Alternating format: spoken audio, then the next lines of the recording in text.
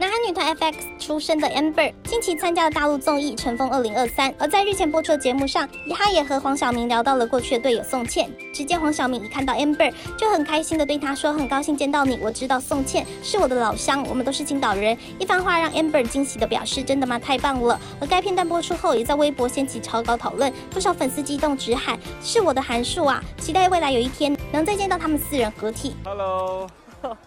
欢迎欢迎欢迎！你好你好，小明小明，嗯，你好，很高兴认识你。你好，我知道我知道，宋茜，对对对，是我的老乡。哦，真的吗？对啊对啊，我们都是青岛人。Nice nice